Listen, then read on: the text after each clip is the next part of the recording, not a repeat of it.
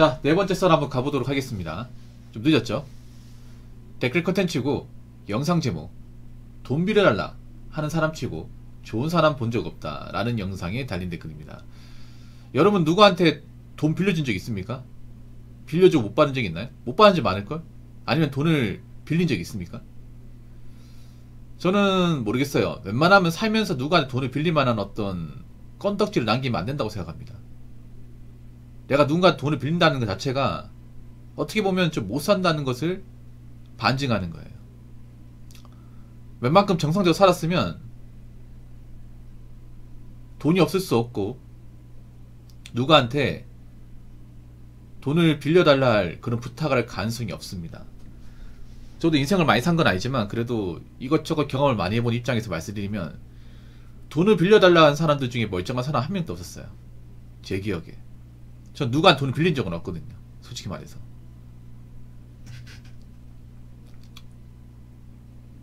물론 주변에 돈 부탁이면 돈 부탁이 오면 이제 거절하기 힘들 거예요.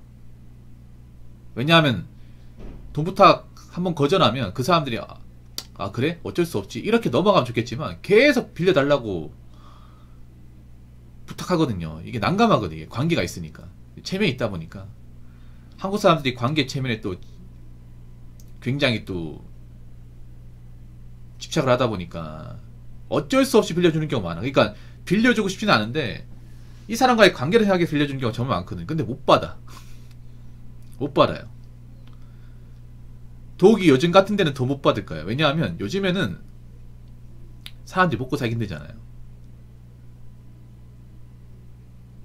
그 사람도 먹고 살기 힘드니까 돈을 빌리는데 생각해봐. 지금 돈 벌기 힘들잖아. 근데 어떻게 갚아요? 그리고 여러분 그거 하셔야 돼. 주변 지인들한테 돈을 빌려갈 정도면 어떤 거냐면 이미 갈 때까지 간 거예요. 대부분. 베르단들인 그렇죠? 이미 주변 지인들까지 손을 뻗칠 정도면 이 사람은 지금 금기관도 그렇고 웬만한 데는 다 빌린 거야. 그러니까 나한테만 지금 이 빚이 있는 게 아니라 여기저기 다 있어요. 그런 경우 허다해. 그래서 그런 사람한테 돈을 빌려주면 그 사람은 지인 돈을 갚는 게 아니라 가장 급한 데부터 갚아요. 금융기관. 아니면 사채 이런 것부터 갚습니다. 그러면 지인한테 빌린 거는 맨 마지막이 됩니다. 오히려 그 사람들은 지인한테 돈 빌린 거 까먹습니다. 그런 경우 있어요. 내가 돈을 빌려줬는데 이의가 없어. 분명히 자기가 갚는다고 했어요. 항상 그렇게 해야죠. 꼭 갚을게. 설마 내 돈 떼먹겠냐 이런 말을 꼭 붙이죠. 떼먹죠 근데. 잘 떼먹습니다. 약속한 시간 안에 돈을 준다고 했는데 연락이 없어요. 그렇죠. 연락이 없죠. 여러분 한번 생각해봐. 돈을 빌려간 사람이 약속을 지키는 거 본 적 있습니까? 지키는 사람도 있겠지만 안 지키는 사람들이 절대 다습니다. 그래서 뭐 갚겠지 뭐. 얘랑 나랑 관계가 있는데 설마 내 돈을 떼먹게 하겠어? 무슨 사정이 있을 거야? 뭐 바빠서 연락이 안 왔을까? 이러다가 한 며칠 지나니까 뭐야 이 자식? 혹시 내 돈 떼먹는 거 아니야? 일부러 전화하는 거 아니야? 이렇게 전화를 해요. 전화해가지고 야, 너 왜 안 갚냐? 그러면 있잖아요. 사람이 이제 돈 빌려간 사람이 어떻게 대답을 하냐면 갑자기 무슨 소리예요? 갑자기 무슨 소리야? 아니 너 그저께 돈 빌려간 거 있잖아. 언제? 이 자식 기억 못하는 척하네. 야, 저 저번 주 일요일 날 니 나한테 50만 원 빌려갔어? 50만 원 빌려가서 다음 주 안에 갚는다 분명히 얘기했어. 근데 지금 시간이 언제야? 그 얘기하면 아 미안 미안 미안 아 파파가 까먹고 있었다. 어 그래 아 미안 미안 미안 근데 어떡하지? 나 지금 수준이 가진 게 없어가지고 당장은 힘들 것 같은데 이런 식으로 나와요. 허파 디비지죠. 아니 오히려 돈 빌려간 쪽이 좀 차분합니다 이게. 돈 빌려준 쪽은 막 이 돈 못 받아서 막 감정이 막 상해 있는데 돈을 빌려간 쪽이 참 최팽이야. 그래서 못 자라고 약간 이런 느낌이에요. 이게 사람 디비지게 하죠 이게. 근데 내가 봤을 때 그런 거야. 지인들한테 돈 빌려간 사람들은요. 애초에 갚을 생각이 없는 사람들이 많습니다. 그러니까 오르세를 일관하면 그냥 넘어가겠지. 이런 느낌이야. 특히나 요즘 같은 시국에는 돈을 돌려받기 힘들어요. 정말로. 여러분 돈 앞에서 인간관계 아무 쓸모 없습니다. 진짜로. 살아보면 느낀 건데.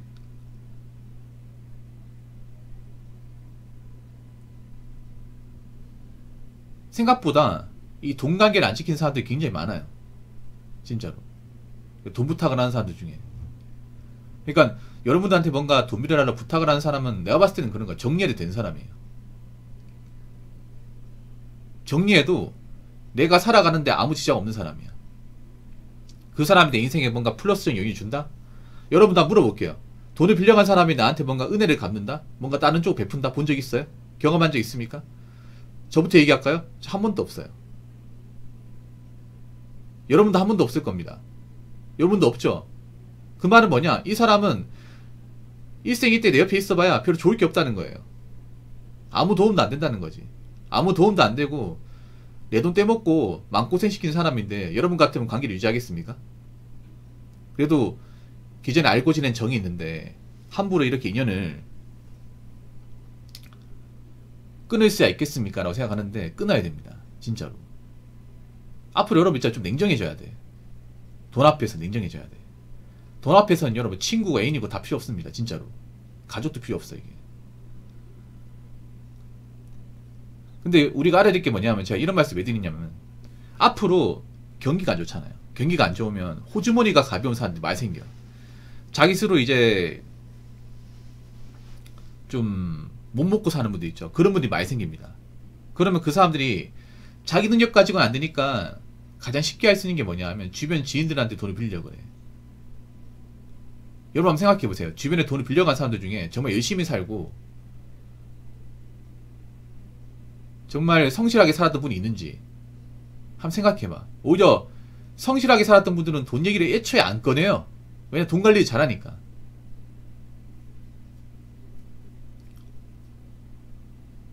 꼭 평소에 돈 관리 안 하고 일도 제대로 안 하고 흥청망청 무리수리 돈 쓰고 그러다 돈이 없으니까 만만하게 나니까 연락이 오는 겁니다. 이게.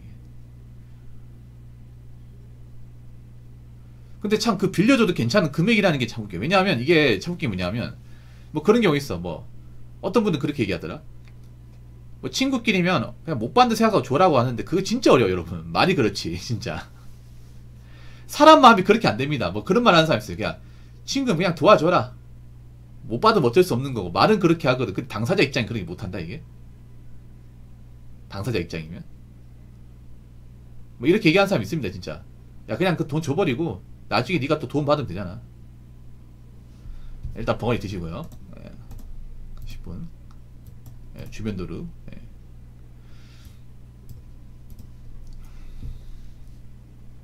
아무튼 여러분 돈 관리 잘해야 됩니다. 내 돈 잘 지켜야 돼.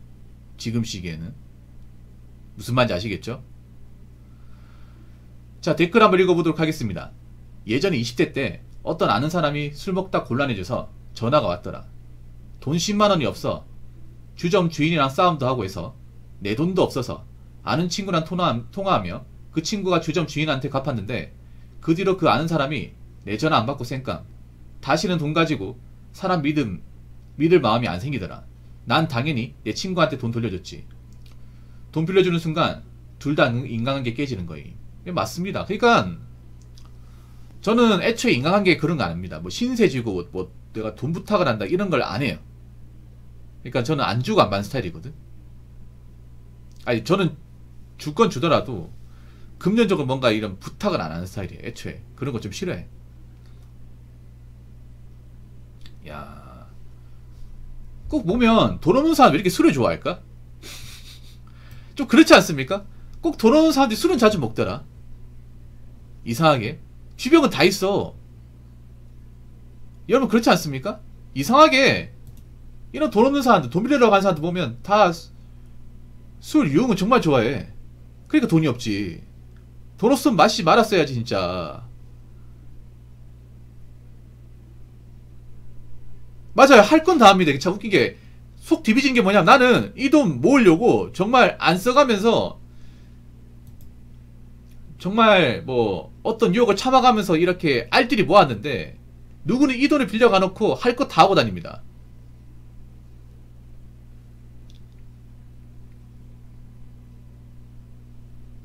야, 한번 생각해봐. 이래도 여러분 돈 빌려줄까, 여러분? 이래도? 돈 빌려갈 때는, 야, 제발 한번 빌, 빌려주면 안 될까? 이렇게 얘기하다가, 돈 자기한테 넣으면, 아싸! 하고 싶은 거 다 해야지. 미안하지만 나는 하고 싶은 거 다 할 거다. 술도 마시고 어, 놀러도 다니고 다 할 거다. 이돈 혹시나 해서 말하지만 못 받을지도 몰라.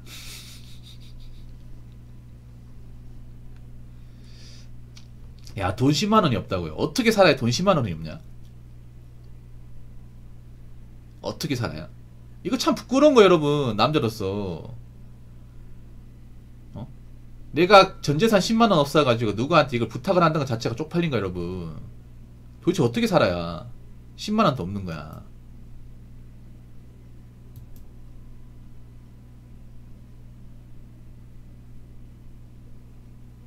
십만 원도 없는 사람이 잘도 열심히 살았겠습니다. 그렇지 않습니까?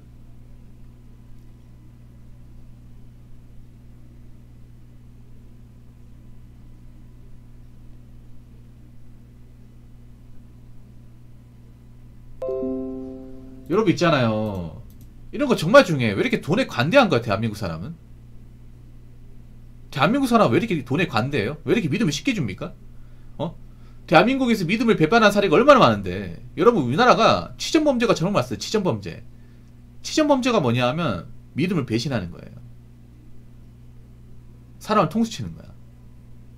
아는 사람을 이용해서 등쳐먹는 거예요. 배신하는 거. 우리나라 살인범죄 대부분이 치전범죄입니다. 알고 계십니까? 그놈의 정 때문에. 돈관계 때문에. 실제로 이런 일 진짜 많이 벌어집니다, 여러분. 근데도 아는 사람에게 빌려줘야 된다. 이런 생각 가집니까? 진짜 이런 거면 좀 얼빠한 것 같아, 난 대한민국 사람들이. 진짜 얼빠한 것 같아요. 가방 끈만 길고, 뭐 세상을 사는 지혜나 경험치, 법칙 같은 건 그냥 무시하나 봐. 여러분 있잖아요. 앞으로 시간이 지나잖아. 그놈의 알량한 정 따위는요, 살아가는 도움 안 돼. 정도 있잖아요. 다 좋은 게 아니야. 좋은 정이 있고 나쁜 정이 있습니다. 나쁜 정은 가위로 싹 다 잘라내야 돼. 이렇게 돈 빌려달라고 하는 건 나쁜 정이에요, 나쁜 정. 정이라고 다 좋은 게 아니라고. 오래 알고 지냈다고 다 좋은 게 아니라고요. 그러니까 제가 드리고 싶은 얘기는 항상 있잖아요. 사주 경기 확실하게 하고요. 앞으로 경기가 어렵다는 말은 돈이 아쉬운 사람들이 많은 거야. 돈이 아쉬운 사람이 어떡하겠어요. 가까운 사람들한테 돈 부탁하겠지. 그런 경우 많이 생겨, 여러분. 그럴 때 의연하게 대처하란 말이에요. 여러분, 돈 빌려다고 한 사람은 없어도 된 사람이야, 내 인생에. 필요 없는 사람이라니까? 여자분들 잘 들으세요. 여자분들 주변에 뭐 언니나 지인들 있잖아요. 돈 빌려라고 하잖아. 없어도 되는 사람이야. 특히 사랑하는 사람이 돈 빌려라고 하잖아. 그 사랑하는 게 아니에요. 사랑하지 않으니까 돈 빌려달라고 할 수 있는 거예요. 그래서 그런 사람은 뭐 친구로도 필요도 없고 애인으로도 필요도 없습니다. 아무튼 그렇기 때문에 여러분 정신 똑바로 차리시고 여러분 버는 돈 관리 잘하세요. 부자가 되는 게 중요한 게 아니라 여러분 가지고 있는 돈을 잘 지키는 게 더 중요합니다. 오히려 가지고 있는 돈을 잘 지키지 못해서 나락으로 가는 사람이 더 많습니다. 아시겠죠? 자, 이상으로 네 번째 썰 마치도록 하겠습니다.